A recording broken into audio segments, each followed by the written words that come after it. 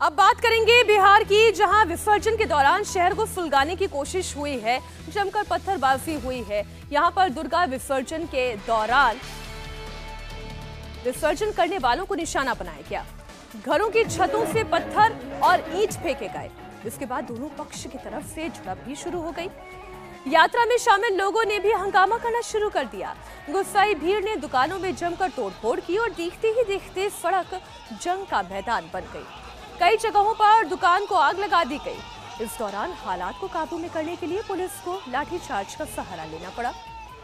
इस पथराव की चपेट में पुलिसकर्मी भी आ गए। दो पुलिसकर्मियों को गंभीर चोट आई है। बवाल के बाद एक्शन में आई पुलिस ने पथराव करने वाले दस आरोपियों को गिरफ़्तार किया। साथ ही बाकी आरोपियों की पहचान की जा रही है।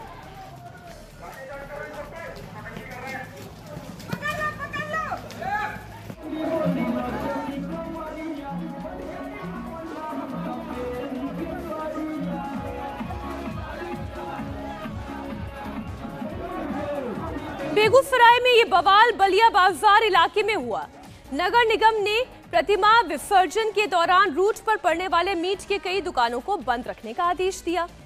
पुलिस के मुताबिक इनमें से कुछ दुकानों में मौजूद लोगों ने पथराव किया और फिर माहौल बिगड़ना शुरू हो गया। दोनों पक्ष एक दूसरे के सामने आ गए। बवाल के बाद बेगूसराय के डीएम और एसपी पूरे पुलिस फोर्स के साथ मौके पर पहुँचे। उपद्रवियों पर हल्का लाठीचार्ज कर हालात को काबू में करने की कोशिश की।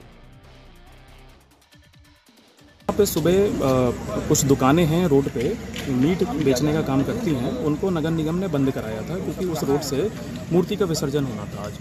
आज इसमें ऐसा पाया गया कि पाँच छह दुकानदार जिनकी दुकान बंद कराई थी प्रशासन ने, उन्हीं लोगों ने जब मूर्ति वहाँ से गुजर रही थी तो उस पर पत्थर चला दिया और उसके बाद वहाँ पे जो जुलूस में कुछ लड़के थे, उन्होंने भी उस पर रिएक्शन किया। दोनों तरफ़ से पत्थरबाजी हुई। तुरंत वहाँ पे पुलिस पहुँच गई थी। एस टी वहाँ पे थे फोर्स भी थी।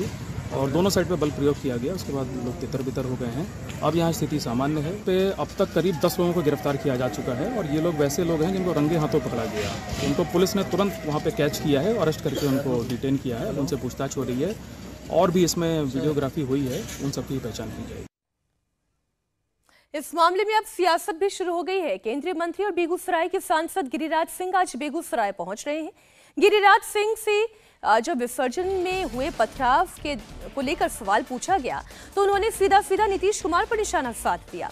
गिरिराज सिंह ने आरोप लगाया कि नीतीश के इशारे पर विसर्जन के दौरान ये पथराव किया गया। गिरिराज ने कहा कि नीतीश सरकार नहीं चाहती कि बिहार में हिंदू अपने त्योहार मनाए, इसलिए विसर्जन यात्रा को निशाना बनाया गया। हमें तो सूचना बलिया का मिला है, लक्ष्मीनिया बलिया का। और पत्थलबाजी की गई। बलिया में कभी हिंदुओं ने तजिया पे पत्थलबाजी नहीं की। ये हिंदुओं का धैर्य बताता है, सहिष्णुता बताता है। लेकिन जिस ढंग से दुर्गा की प्रतिमा पर विसर्जन में